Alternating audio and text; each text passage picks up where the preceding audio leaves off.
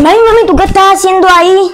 Voy a mandar una queja al colegio, porque no me parece justo que estén perdiendo tantas clases. Dos días aquí en la casa sin hacer nada, simplemente porque ellos están haciendo unos arreglos allá. Mami, por mamita como tú, es que el colegio no le gusta hacer nada. No es que sea para nuestro beneficio. No te gusta que hagan ningún arreglo allá. No, papi, yo tengo la razón. Ellos tienen que buscar otro método, porque es que ustedes no se pueden atrasar. Voy a revisar.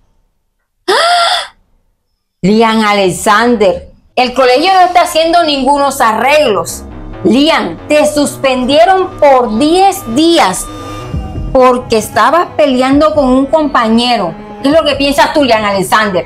Ay, mami, ¿qué quería? Que me dejara golpear. Yo no me amolía mucho. Ay, Dios mío, Lian, ¿cuántas veces te he dicho yo a ti que no pelees, y mucho menos en el colegio, Lian Alexander? Diez días. Ay, Dios mío, señor, y tengo que ir mañana porque me acaban de citar. No, hombre, qué problema. Mami, pero miraré del lado positivo. Yo no me tengo que levantar a las tres y media para ir para el colegio. Así que ya, relájate, tranquila. Ah, con que esas tenemos. Relájate. Oye, Lian Alexander, me haces el favor y te levantas. Oye, te levantas. Ni creas que vas a estar de niño bonito aquí que te vas a levantar a las 10 de la mañana. Ah, mami, ¿yo qué voy a hacer despierto ahora? ¿A qué hora es? A usted no le importa qué hora es. Me hace el favor y se levanta que va a hacer oficio. Ay, mi mamá sí se pone pesado, ¿verdad? A ponerme el suéter. Mami, pero si mira, ve, todavía está oscuro. ¿Yo qué voy a hacer levantado a esta hora, ma? ¿Qué te pones pesada? Ponte las pilas. Son las 5 de la mañana. Te vas a poner a hacer aseo desde ya.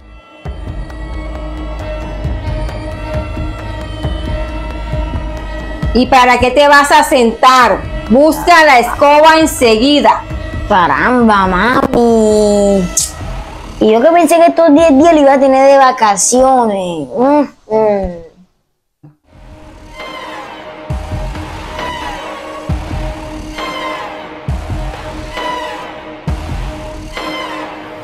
Mami, ya barrí toda la casa, organicé todo, ya me puedo acostar.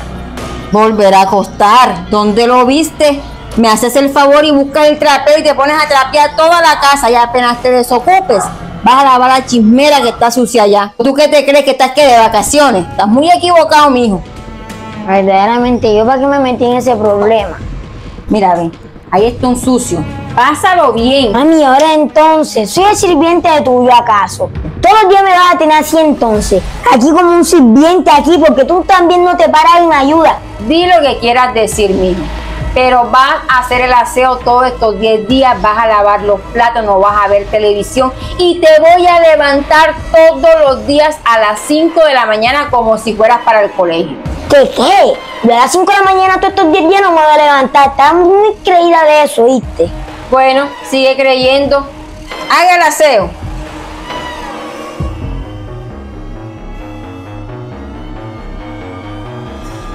Oye, mami, ya terminé de hacer todo esto, ya me puedo ir a bañar. Claro, vaya y se baña, se reposa un ratico. Mami, te voy a decir algo. Mami, definitivamente me estoy dando cuenta que tú eres una pésima madre. Pero que una verdadera madre no me haría todo esto lo que tú me estás haciendo. Hijo, porque soy una buena madre, te estoy corrigiendo ahora con tiempo. Porque usted sabe que eso que hizo en el colegio no estuvo nada bien. Mami, que bien ni que nada. Yo me tenía que defender. Yo sé que estos 10 días le van a servir a él de mucho, aunque él no lo crea así. Por fin, por fin, vamos, hombre. Mañana voy para el colegio, menos mal.